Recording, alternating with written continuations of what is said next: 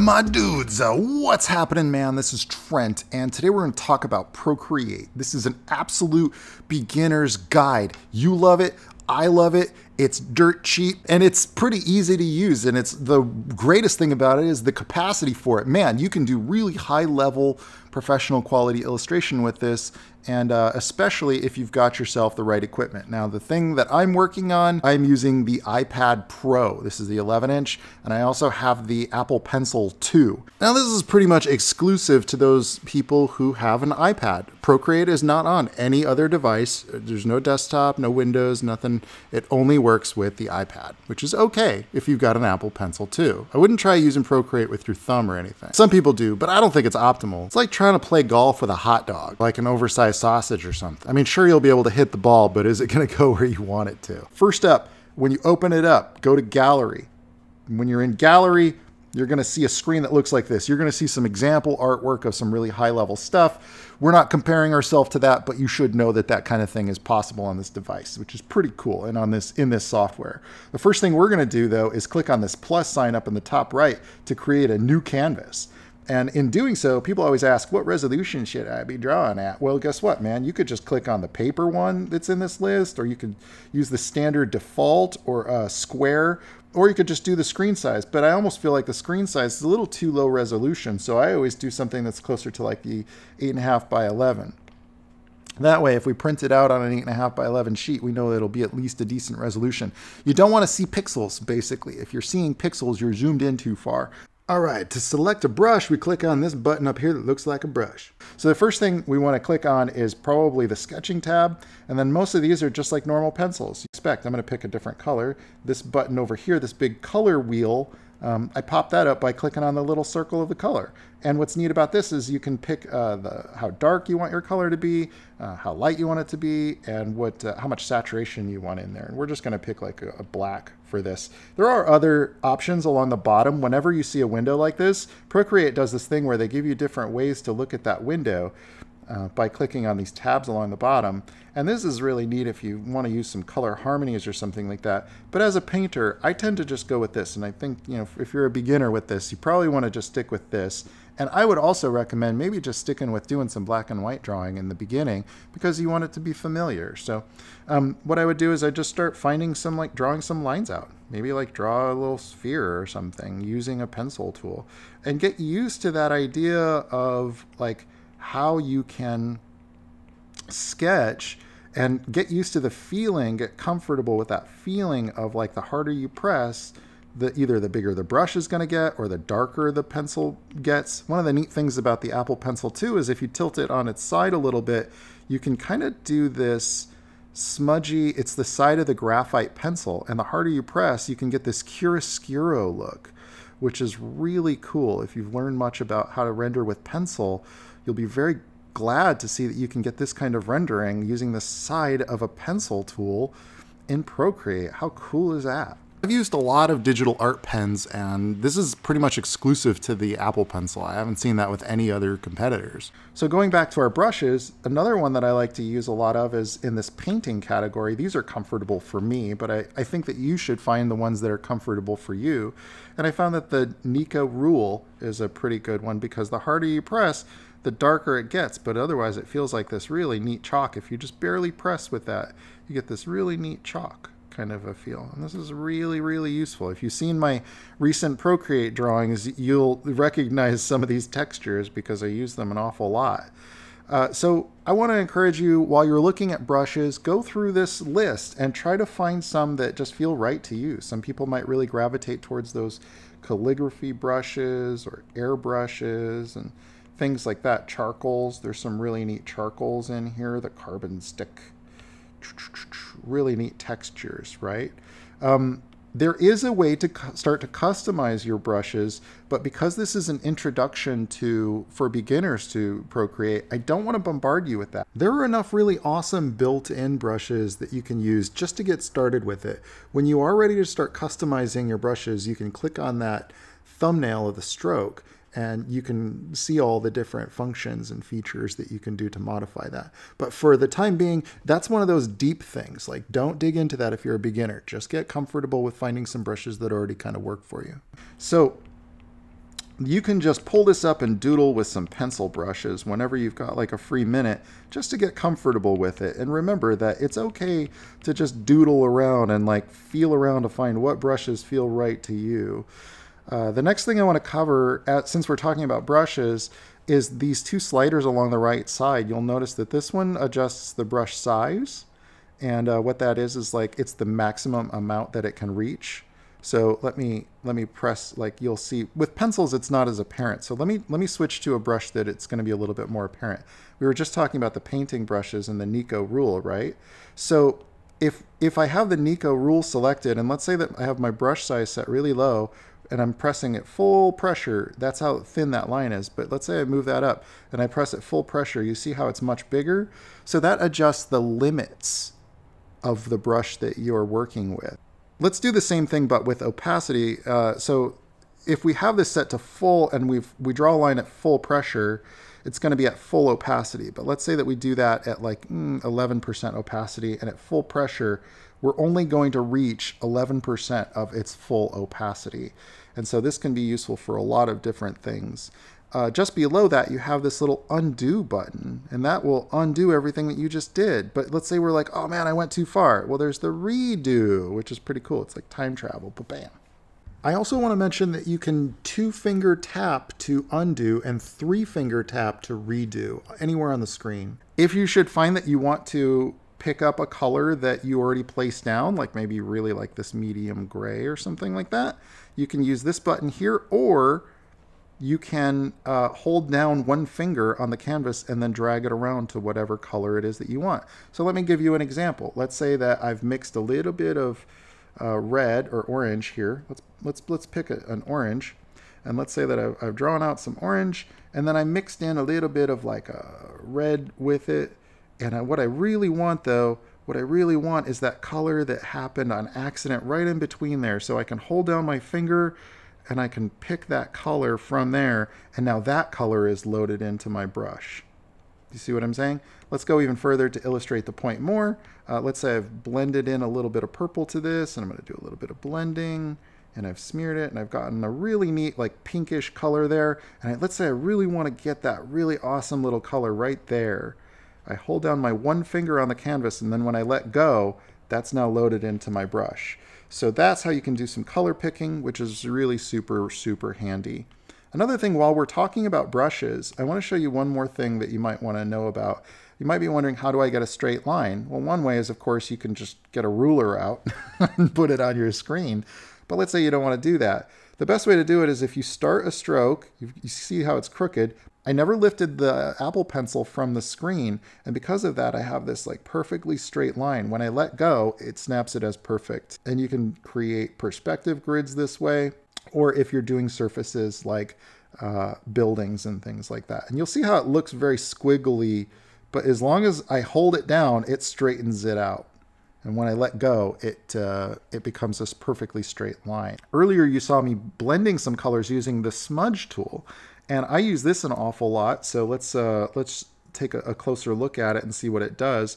Right now it has a texture on it that's called stucco, and this is my favorite texture, and it's the thing that made me fall in love with Procreate is the stucco brush because it looks so just textury and just miffed up. And I like that. I like that really organic look, that really organic feel. And what's really neat to get this very uh, papery kind of like it, what it looks like is kind of like if you ever did chalk drawings as a kid and you put a little piece of paper down on like the concrete and then you rub out some like some chalk over the top of that, you pick up all those textures underneath. And so the smudge tool will help you to blend your colors together. It will help you to get a very organic looking natural brush stroke across all of your drawing. And the other thing I want to tell you while you're doing this, dudes, you look at this drawing that I've got right now. It's garbage. You're not trying to make something cool right now. I'm just playing around with those tools.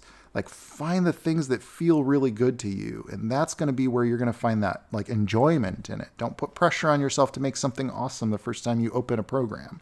Like try to just find brushes and tools and things that seem really neat for you to use. Like, oh, I could do some cool stuff with that. Oh, you know, and then you get to play around with it. That's where the that's where it's going to stick You know, when you start to realize, oh, I can have some fun with this particular brush. If you find that one brush, you can do a whole drawing just with that one. And then it's what's kind of neat is it's all disposable. It's all digital, so you can just erase it and uh, start over with the next one. Don't put pressure on yourself when you're learning new software. While we're exploring the smudge brush, I want to cover another thing. If you click on that again, you, you'll notice that all your brushes pop up and you're like, wait a minute. These are all the brushes that I was looking at. You're saying that I could have a uh, you're saying that I could have a, uh, a, a, a, smudge brush that looks like a pencil? Yes, absolutely. You can smudge using the same shape and treatment that a pencil brush gives you. So you'll notice this isn't drawing like a pencil, but if I smear it and smudge it into another color, it treats that as if it's smearing it. So think of it just like it's a stamp almost. You're just using the shape of the stamp to perform a different function. But I really love that stucco, so I'm going to make sure that I leave it back on artistic, and it's at the very top, it's stucco, and just to make sure, look at that. Oh, I love it, love it so much. It's just a pleasure to play around with. The harder you press, the more of that texture you're going to get too. Obviously, you have the eraser tool, and the eraser tool, what do you think is going to happen? It's obviously just going to erase out. Um, you can also change the shape of your eraser tool into whatever brush that you've got as well. But to really illustrate how to use the eraser tool, we're going to need to understand uh, layers just a little bit. Now I'm going to give you a brief overview of layers. By clicking on this little thing that looks like overlapping squares, we pull up the layer stack. Uh, if you click on uh, the plus symbol here, we create a new layer. Now what we have, imagine it like you've got layers of glass. And we just created a new layer of glass and we placed it on top of everything else. Now if we paint on this layer of glass, just like what we were talking about before. Let me go back to doing, let's do it in yellow just to really communicate this. So if we draw something on this layer of glass, it's as if we're putting, let's say like acrylic paint on that layer of glass, right? And let's say that we're like, nah, I don't really like that. Well, you can use that eraser tool and you can erase something out. And because that eraser tool is set to a soft edged airbrush, we can kind of erase out just an edge of it if we wanted to. This also applies to all the scaling and opacity. And, um, you know, when we were talking about how to change your brush size, it also adjusts that. But uh, even further, let's let's dig in a little bit further on what that means and what you can do with this, because we're just erasing what's on that layer. And in fact, if we wanted to, we could just make that invisible. You know, um, just to see what's on that layer. This is great if you're unsure of something, like you want to try to redraw a character's nose, or you want to try to redraw their hair, but you're not really sure if that's the hairstyle you want yet.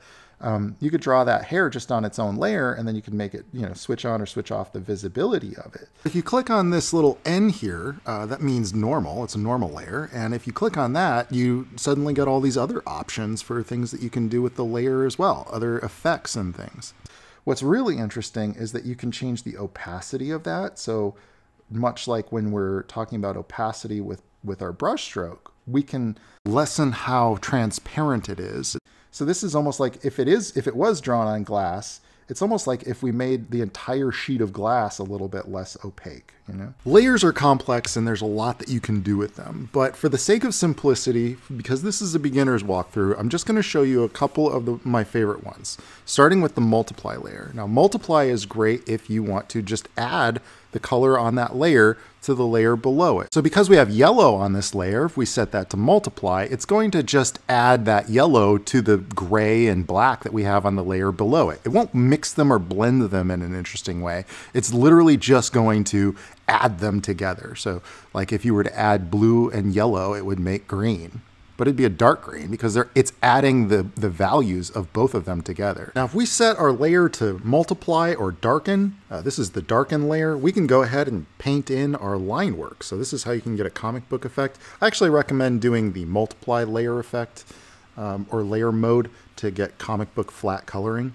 And that way, if you want to add colors or erase out, for instance, uh, that's all on that colorized layer. Your line art is preserved. It's on a different layer. So I'm going to show you a time lapse of some characters that I had drawn. And uh, basically this is just using all of the, the techniques that I showed you up to this point. I'm using those grainy pencil brushes. I'm using that smudge tool.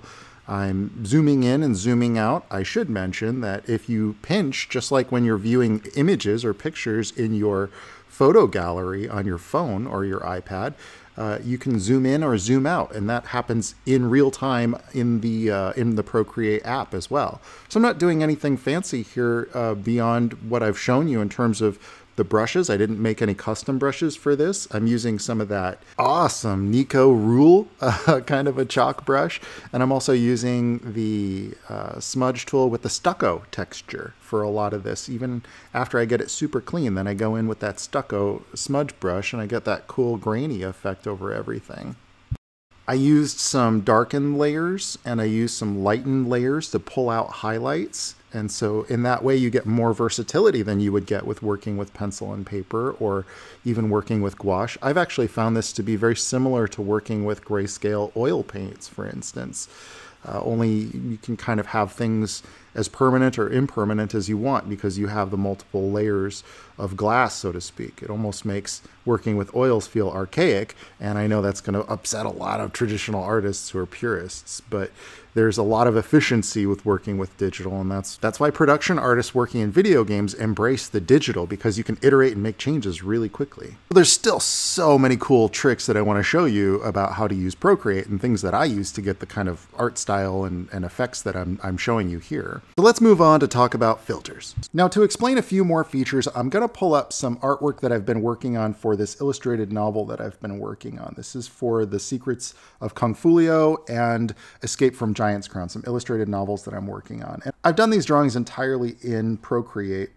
And uh, don't feel like you have to draw like this. This is just me drawing after 25 years. So, but they will help me to illustrate some some features. So if we go to our layers, you'll notice that I have all these different layer types and most of them are set to normal. What you can do is click on that thumbnail and you can merge that down and what that'll do is it'll just flatten it down into one layer.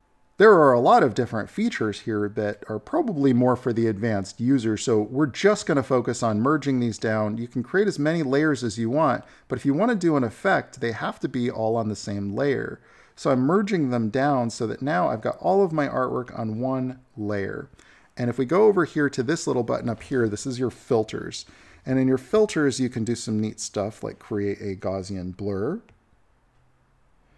And by dragging from left to right, we can see how that blur is affecting the whole image. We don't actually want a blur effect on this, so let's just go move down the line. We can do a perspective blur, which is interesting if you're trying to get some speed lines. I find it very nauseating. you can sharpen the artwork which will basically just make your edges more crispy and anything that's blurred will be a little bit sharper, but it won't fully restore your image. It's just for creating a little bit more of a crisp uh, look in your drawings. Liquify is one of the most fun to play around with. Now, there are a lot of different features here, but let's say that just for the sake of explanation, we have that set to push. Well, this is great if you want to start maybe adjusting where a character's eyes are, if it feels like they're teeth need to be bigger or the shoulder needs to pop out just a little bit more. You don't have to redraw all of that. This is where digital has a massive, massive advantage over working in gouache or oils or something like that. And um, because you're you're you're going to be able to just sort of smear or mush things around a little bit to change proportions on things, um, there are a few other things if you want to get a super surreal kind of a result from it, including twirl. Oh my goodness, that is trippy. Um, there's also, uh, I don't know what reconstruct means. Oh, that'll undo your, that is really trippy. I just discovered this myself. So uh, that's really cool. Of course, if you don't like anything that you decide on, you click on that brush, which goes back to your painting, because think of it like you were in a different mode. But then you go back to the painting mode and you can undo it using just like we were undoing and redoing our brush strokes, right? The other things that you can do are add colors or color balance. You can add uh, hue saturation, which this doesn't have any colors in it, so it's not going to actually affect anything um, in this particular drawing because the drawing is in black and white. Uh, but you can add a little bit of color balance to it. So if I wanted to add a little bit of like a little bit of like maybe I want my my uh, brush work to have a little bit of color to it. I'm only working with the shadows here. If I go to highlights and then I, I add a little bit of color to that, you can see you can see how you can begin to create some really interesting. I mean that's that's immediately pretty darn cool uh, because it's no longer just a grayscale image. Um, I've added a little bit of color to it. That isn't the same as gradient maps, but um, Procreate does not yet have any gradient maps. So that effect that explains some uh, some of the filters. You can, of course, adjust curve. Curves, basically using this graph, you can affect how dark your darkest values are and how light your lightest values are, so you can make the whole image darker that way. This is particularly effective if you're using a colorized layer. You need to overall darken the values. But let's move on to uh, selections. So by clicking on this, you can create selections. And then if you have this freehand button selected, then you can draw out whatever shape you want. You can duplicate that from that. You can feather the edge. You can create ellipses. Or you can, while you have it selected, you click on the little arrow thing, and that allows you to create a little transform. And this is different than that liquify effect because it's basically like you're transforming, you're converting the entire shape. It almost like cut it out. And uh, you can flip that particular thing. You can fit it to canvas. You can do a lot of different uh, things with it down here, including rotate it and things like that. Um, but you could also grab this little green thing here and rotate it that way.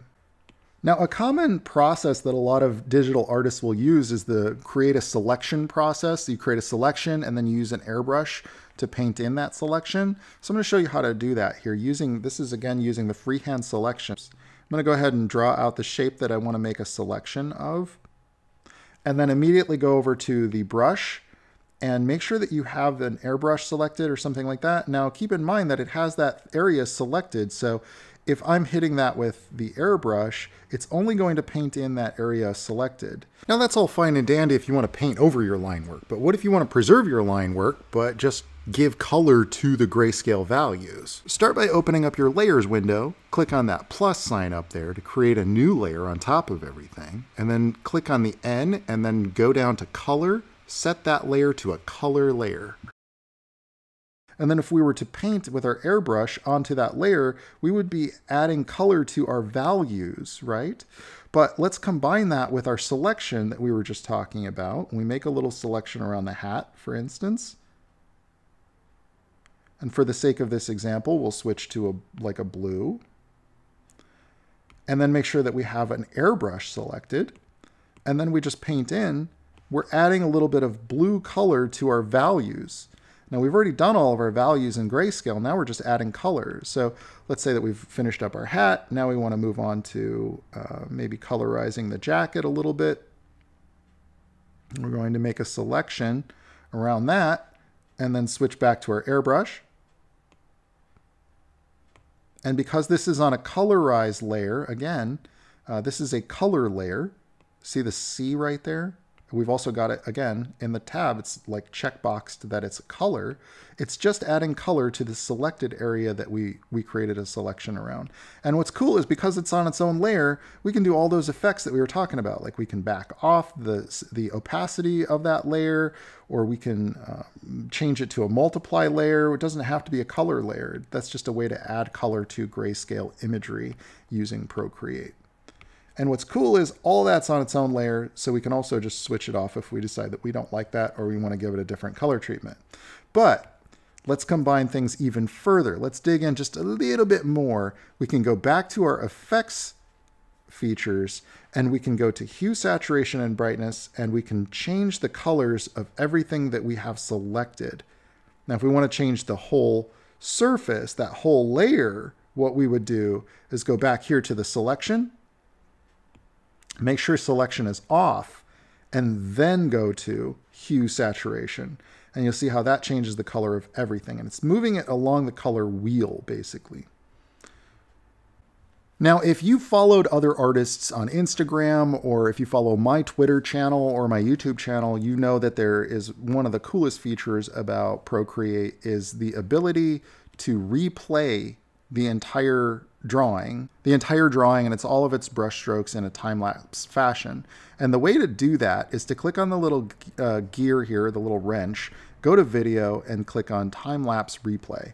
And what that will do is it will replay everything that was done in this drawing. What's cool about it is that if you drag along, you can actually speed that up or slow it down or go in reverse even. If you have your finger on the surface, you can pull it along the timeline and you'll see everything that's been done on this drawing since the moment it was in incepted.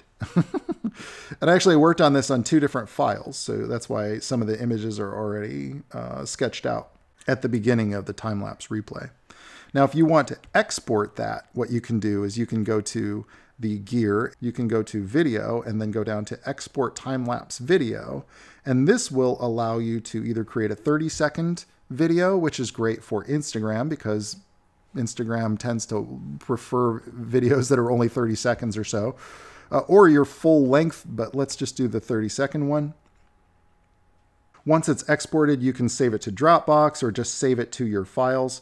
If you save it as a video, you can then upload that to Instagram really easily from your iPad device. Something else that you might be wondering about, if you have uh, if you have artwork that you started in another program, you can import that file or you can insert a photo. So if you have something, for instance, from your albums that you wanted to add into your image, you can go here to your add and then insert photo and then either pull up a file from your files or from your photo album on your iPad.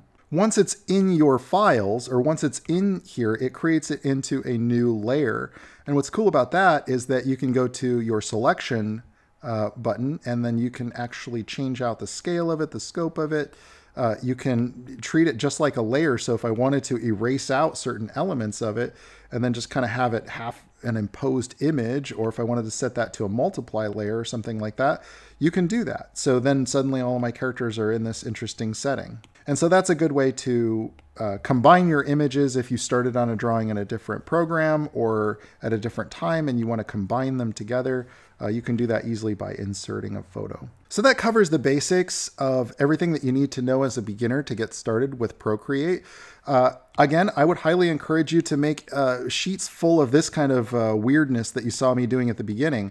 Just get comfortable with doing these sheets full of color blending and smearing stuff around and finding out what colors really, really work interestingly well together and play around a little bit with some of the layer effects that you saw me doing and uh, try some of the other ones on your own as well. And it's all going to be about that exploration. This isn't about creativity isn't something that you just put on rails. It's something where you start to find something that you gravitate towards and you find joy in the playtime with it and uh, as you learn and acquire new skills and understanding about the tool, you then begin to explore and create on your own until you've got really neat, interesting things that you can't wait to share with other people. I look forward to doing a lot more Procreate videos in the future. If there's anything that you'd like to know about how to use this software, please do send me a comment or leave that in the video, uh, and I will get to it in a future video if you're looking to improve your drawing, maybe you've only drawn on paper. Well, I've, I've gone and made a bunch of easy art lessons, and these are really focused on the joy, the fun of drawing. This isn't some technical manual. It's not all boring stuff. Like you're going to be drawing characters, doing awesome stuff in cool poses in buildings and environments and such. And you're going to be doing that within a matter of a few hours. It doesn't have to be this complex, uh, boring, frustrating thing like you see in these technical manuals about how to draw. So check out my easy art lessons. They're on paper, but obviously you can do these in Procreate. It's the fundamentals of drawing. You need these skills if you're going to become a professional artist or if you just want to improve your overall drawing skills and impress your friends and draw cool characters and all that stuff. So check that out over on my Gumroad channel. The link is in the description and there's also a promo code for 20% off of all those. Don't forget to subscribe and click the bell. And dudes, until next time, I'll catch y'all. Manya on the bond and ciao, baby. Oh, yeah.